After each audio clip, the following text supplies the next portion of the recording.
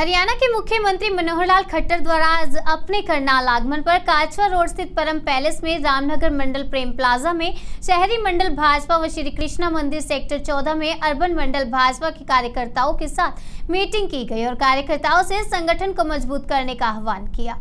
कहा कि विधानसभा चुनाव से पहले पार्टी मंडल स्तर पर, बूथ स्तर पर अपने कार्यकर्ताओं के साथ बैठ के आयोजित कर फीडबैक ले रही है और विधानसभा चुनाव के लिए तैयार रहने के लिए दिशा निर्देश दिए जा रहे हैं।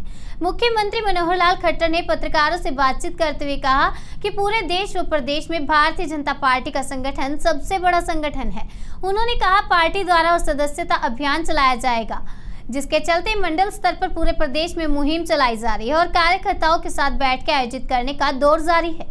मुख्यमंत्री मनोहर लाल खट्टर ने कहा कि तीन वर्ष के बाद नए संगठन का गठन किया जाता है, जिसको संगठन पर्व के रूप में मनाया जाता है।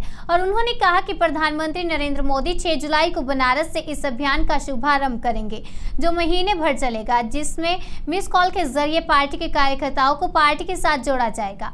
एक सवाल के जवाब में मुख्यमंत्री ने कहा कि करनाल में हुए आटे के घोटाले में जो भी व्यक्ति दोषी पाया जाएगा, उसके खिलाफ कार्रवाई की जाएगी। उसमें चाहे कोई डिपो होल्डर हो, सरकारी कर्मचारी हो या कोई अन्य हो, उसको अवश्य पकड़ा जाएगा और दंडित किया जाएगा। उन्होंने कहा कि महाराष्ट्र, झारखंड व हरियाणा में चुनाव होने वाले हैं। इसलिए कार्यकर्ताओं को चुनाव के लिए तैयार करने के भी दिशा निर्देश दिए गए हैं। इस मौके पर उन्होंने कहा कि बजट देश हित में लाया जाएगा, जिसमें हर वर्ग का ध्यान रखा जाएगा। मुख्यमंत्री मनोहर लाल खट्टर, यहाँ करनाल दौरे के दौरान कार्यकर्ताओं से मिलने के लिए वह चुनावी जोश जगाने के लिए दिन भर व्यस्त रहे। सारे देश भर में अखिल भारतीय कार्यक्रम है संगठन पर्व के नाते से मंडल के अनुसार बैठ के ये हो रही है। और सभी जो प्रदेशों के जिलों के जितने नेता हैं चाहे हमारे विधायक हैं चाहे मंत्री हैं चाहे पदाधिकारी हैं तीन तीन बैठ के छः छः बैठ के में लगाई गई है। हरियाणा में भी इन दस दिनों में, एक जुलाई से दस जुलाई तक, संगठन पर्व के नाते से दो सौ नब्बे बैठकें ये हो रही हैं जिसमें से तीन बैठकें ये मैं आज विधानसभा करनाल की करके जाऊँगा और 10 तारीख तक सब बैठकें संपन्न हो जाएँगे। मुख्य रूप से सदस्यता का अभियान, क्योंकि हर तीन वर्ष के बाद सदस्यता अभियान होता है, नया संगठन पर्व होता है।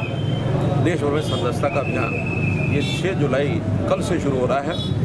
कल प्रधानमंत्री जी स्वयं बनारस से और इसका लॉन्चिंग करेंगे। और महीना भर ये सदस्यता अभियान चलेगा। जितने सदस्य बनाए जाएँगे, वो सब मिस कॉल के द्वारा बनाए जाएँगे। मिस कॉल का एक नंबर सबको दिया है। और चूँकि हमारे यहाँ प्रदेश का चुनाव भी है, हरियाणा में, महाराष्ट्र में और झारखंड में तो सदस्यता के साथ साथ चुनावी तैयारी, इसको भी हमको करना है। और संगठन मज़बूत होगा। जैसे परिणाम बड़े बड़े लोकसभा चुनाव हुए हैं। उससे, उसी प्रकार के उससे बढ़िया परिणाम, विधानसभा चुनाव में भी आए तो हमारी काम करने की जो एक इकाई है। वो जो छोटा कार्यकर्ता हमारा बूथ का इंचार्ज है पन्ना प्रमुख है मंडल का कार्यकर्ता है, शक्ति केंद्र का कार्यकर्ता है, इन कार्यकर्ताओं को फ़ील्ड में काम करना होता है। तो ये सब दोबारा से व्यवस्था में अगर कोई छोटी मोटी कमी है, उसको हम ठीक कर सकें। और खास करके पन्ना प्रमुख की जो हमारी योजना, पहली बार, इस बार हमने शुरू की थी, उसमें छोटी मोटी कमियाँ जो है, उसको ठीक करने के लिए आह्वान किया है।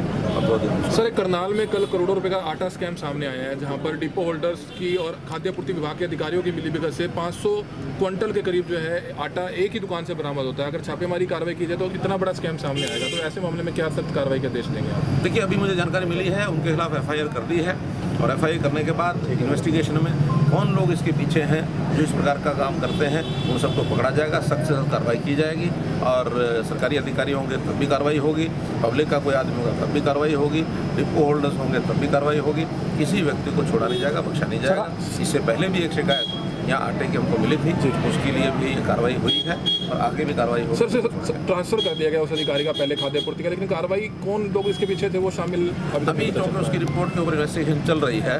तो पहला हमने उसको ट्रांसफ़र करने का मतलब यही है कि जो इंक्वायरी हो रही है उसको किसी प्रकार से प्रभावित न करें।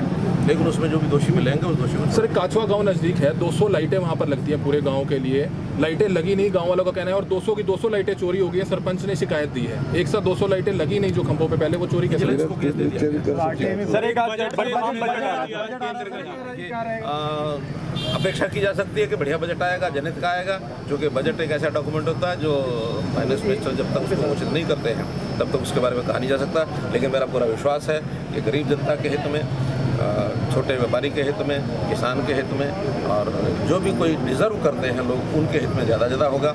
इंफ्रास्ट्रक्चर भी अ, मैं समझता हूँ जहाँ जहाँ आवश्यकता है उसको आगे बढ़ाया जाएगा। अ, हर एक क्षेत्र के बजट में बढ़ोतरी होगी क्योंकि हमारी फाइनेंशियल स्थिति भी देश की बहुत अच्छी है। उस नाते से बजट बढ़िया बजट आएगा। एमएसपी बढ़ेगी कल की? कई फ़सलों पे जो धान है जब दूसरी साठ रुपये धान पे बढ़ाया गया। उसके ऊपर एक बार पूरा अध्ययन करने के बाद ही इसकी जानकारी मिलेगी कि भी कॉस्ट के हिसाब से जो हमारा 50 परसेंट लाभांश का फार्मूला है वो तो सब जगह रखेंगे तो ये सारा एम एस जितनी भी बढ़ती है जिस फ़सल की वो उसकी कॉस्ट जितनी बढ़ती है उसके साथ सर खिलाड़ी बजरंग पुनिया ने खिलाड़ी बजरंग पुनिया ने प्रधानमंत्री जी को ट्वीट किया है खेल नीति से कहीं ना कहीं कुछ खिलाड़ी संतुष्ट नहीं है नज़र कुछ नज़र नहीं आ रहा। ऐसा नहीं है हमारी खेल जो खेल नीति है वो एकदम सारे देश भर में सबसे बढ़िया खेल नीति है। और अगर कहीं छोटी मोटी बात किसी प्रकार की है उनके प्राइजेस की पैसे को लेकर के उसका हम एक प्रकार से बातचीत करके आज भी हम कहते हैं कि हमारा जितना प्राइज अवार्ड मनी है वो सारे देश भर में दुनिया भर में सबसे ज़्यादा है। इसलिए उसको लेकर के किसी के मन में कोई बात हो तो बातचीत भारतीय जनता पार्टी के द्वारा बैठकों का आयोजन जारी है। जिसके चलते करनाल में भी तीन बैठकों का आयोजन किया, जिसको खुद मुख्यमंत्री मनोहर लाल खट्टर ने संबोधित किया और साथ ही अधिकारियों को दिशा निर्देश दिए कि आगामी चुनाव के लिए तैयार रहें। Senior camera person Sunny Chaudhary के साथ मैनिशा मंडान, समाचार एक्सप्रेस न्यूज़ करनाल।